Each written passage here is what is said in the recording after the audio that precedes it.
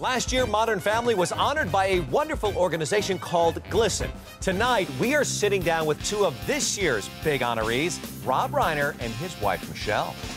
He's the director who called the shots on hits like A Few Good Men, When Harry Met Sally, Stand By Me, The Princess Bride, and The American President. Now, Rob Reiner and his wife Michele are being honored by GLSEN, the Gay, Lesbian, and Straight Education Network. Chaz Bono will also be awarded at the October 21st event. GLSEN is very important because it's it's getting in at the educational level to allow people to accept um, people that they're working and, and living with, you know, throughout life. GLSEN gives students and educators the resources they need to make schools safe and equal, despite a person's sexual orientation.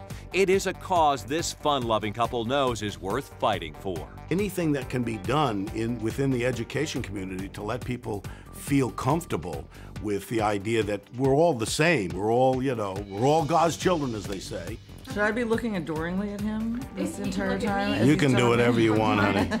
In February, the Emmy Award winning All in the Family star and Michele will be bringing their play 8 to Los Angeles. Their goal to make same sex marriage a legal right for all. We want Brad and Angie to be able to get married, and they won't get married until gays are allowed to be married. Exactly. That's- well, that's the real reason right? we're doing it. Yes, it's so Brad and Angie can get married. And just launching today, the GLSEN online auction. You can bid for a set visit to Mad Men or tickets to Elton John's Oscar party. A lot of great stuff. Just check it out at charitybuzz.com slash GLSEN.